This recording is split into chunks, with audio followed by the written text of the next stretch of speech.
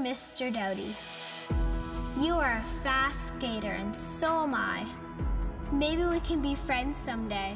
I, hope, that we can play in the NHL together. And I can score goals with you. You are my favorite player, Sidney. Sometimes I dream playing in the NHL with you. P.S. Can you score a hat trick for me this Saturday night? Just three?